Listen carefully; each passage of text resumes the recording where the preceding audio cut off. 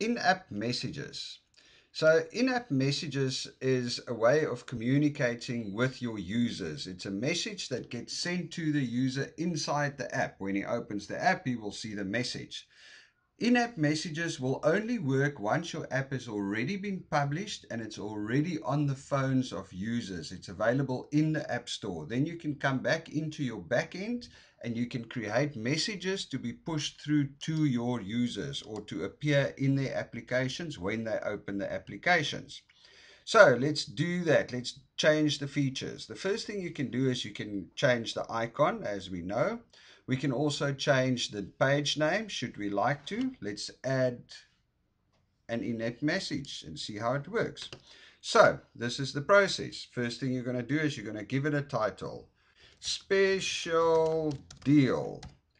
And we're going to write our message. Come in today for a 50% discount. So there you go. There's a good example of an in-app message. We're going to add a cover image. Okay, so we've got a cover image, we've got a title, and we've got our message. Then what we're going to do is we're going to click on the little right arrow over here, and it will ask us which locations we want to send the message to. So we can send the message to no specific locations, in other words, to all our users or we can send them to a specific location where we will enter a Google Maps address and then we can put a radius around that address and only send the messages to users within that specific area. The reason for that is maybe you have a couple of branches and you want to send a message only to the people at your Santa Monica branch or whatever. It's really powerful and it allows you to segment your users and communicate with a specific section of your users.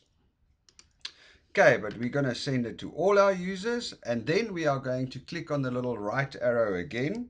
And here we can send it to specific users or to all the users. So the first option is send to all my users, which is pretty self-explanatory. It will go to all your users. The second option is to send to specific topics. Now, this section is only available once you have activated the topics feature down here. Now the topics feature is pretty much somewhere where your users can show that they've got a specific interest in a specific topic or subject.